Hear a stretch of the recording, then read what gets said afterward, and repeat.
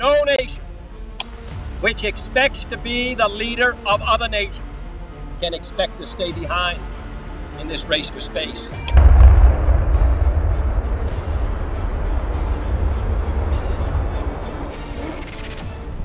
Hello and welcome to the Terran Space Academy, where we help prepare you for a bright future in the space industry. Please don't forget to like and subscribe, and we appreciate your support on Patreon. Thank you. The human mind is an amazing thing. It has created incredible works of art and incredible works of engineering. I think the greatest engineering achievement of humanity were the seven Apollo missions to the moon. I include Apollo 13 in that count, because while they did not reach their destination, due to an unfortunate explosion on the service module, the fact that they made it back alive is a testament to the courage of the crew and the brilliance of the NASA engineers that brought them home. But Apollo was also the end of an era, a time when slide rules and human intellect calculated all the parameters upon which human lives depended. By the time of the next great achievement in spaceflight, the American Space Transportation System, better known as the Space Shuttle, lifted into the skies, human intellect alone was not good enough. Computer simulations were necessary to design the shuttle system. These systems had matured to where they could calculate airflow simultaneously over multiple surfaces, calculating the changing effects of subsonic, transonic, supersonic, and hypersonic flight. Computer systems were also used to fly the space shuttle, as no human could make all the adjustments necessary to keep an aerodynamically unstable system in the air. The space shuttle remains a remarkable achievement of human engineering, but without the help of computers, it is very likely the space transportation system would not have been possible. And that brings us to today's subject artificial intelligence especially ChatGPT 4 and its relatives, has taken the world's attention by storm. These neural net systems are amazingly adept at compiling information into a useful format, which brings us to two recent AI driven breakthroughs that impact the space industry. On May 5th, a multidisciplinary team at the Johns Hopkins Applied Physics Laboratory in Laurel, Maryland, reported having discovered a novel superconductor using artificial intelligence. According to the article released by the laboratory, the key to this breakthrough came through combining materials science expertise and real data into a predictive AI model, which vastly accelerated the timeline of targeted materials discovery.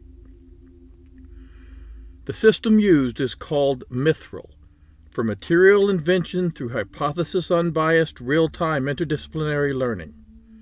This system allows the combined expertise and creativity of materials researchers and computer scientists to discover materials in a targeted fashion.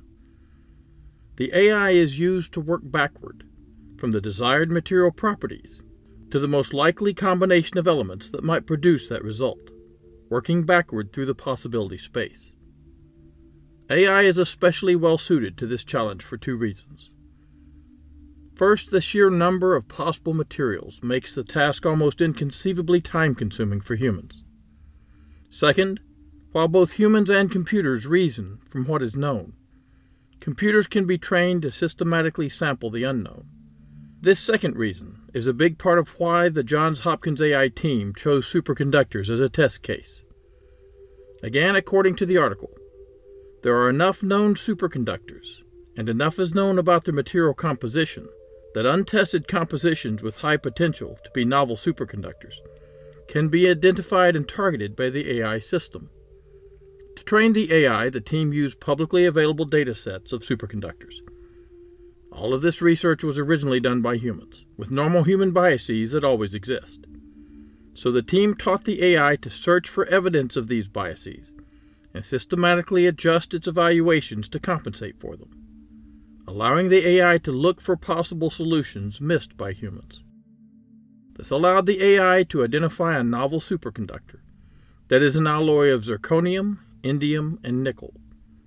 While this new material does not operate at warm temperatures, having a superconducting transition temperature around 9 Kelvin, its discovery, including fabrication of multiple candidate materials took only three months, clearly demonstrating the revolutionary potential of AI enabled targeted discovery in materials science, allowing us to develop the materials we need at a drastically faster pace than was previously possible. According to Leslie Hamilton, an APL senior scientist who helps manage the Science of Extreme and Multifunctional Materials program.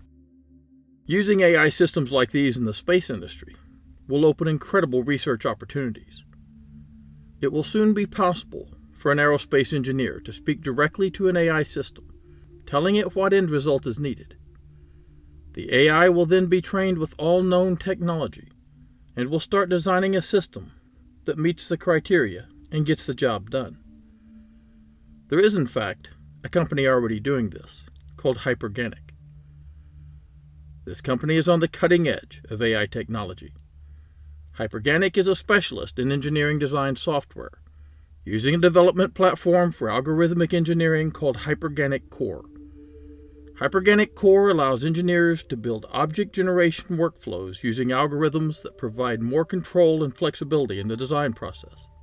Systems like those developed by Hyperganic can allow us to work on what had seemed to be insurmountable problems, like rotating detonation and aerospike engines. These engines would dramatically increase our spaceflight possibilities, if we can get them to work. Rotating detonation engines are discussed in this lesson, and aerospikes in these. One of the problems with aerospike engines is heat buildup, requiring very efficient cooling channels. AI can help us design these channels. These designs can end up having a beautiful organic symmetry. Here is an aerospike rocket engine designed using the Hyperganic Core AI system. The system produced hundreds of viable designs in a matter of days. Then these designs were compared and one was chosen for testing. Printed first using an alloy of nickel and chromium called Inconel 718, then a larger one was printed by a company called EOS, using an alloy composed of copper, chromium, and zirconium, on an AMCM M4K printer. This massive metal 3D printer uses four 1000 watt lasers to print metal objects up to 45 centimeters in diameter and 1 meter tall. The founder of EOS, Dr. Hans Langer, calls this design process algorithmic engineering. This is just the dawn of AI assisted design. More recently, the team at Johns Hopkins has started working on the task of generating materials not found in any libraries. They've used a type of neural network known as the Generative Adversarial Network, which relies on two AI systems working independently, but then collaborating to compare their findings, to output potential material structures and assess how feasible they are.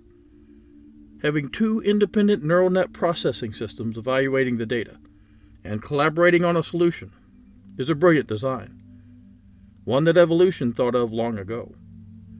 There are two hemispheres in most animals' brains. In humans, these hemispheres communicate with each other through a fiber network bundle called the corpus callosum.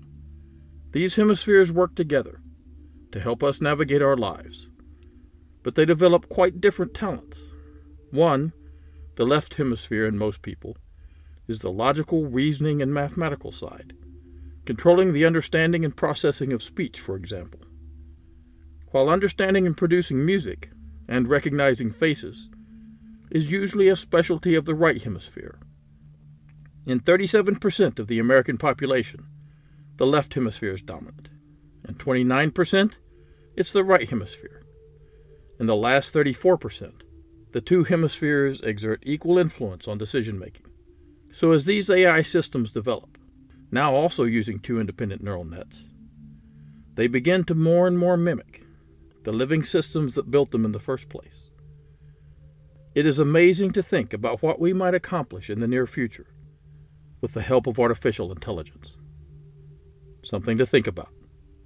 Thanks for listening and stay safe Ad Astra Pro Terra.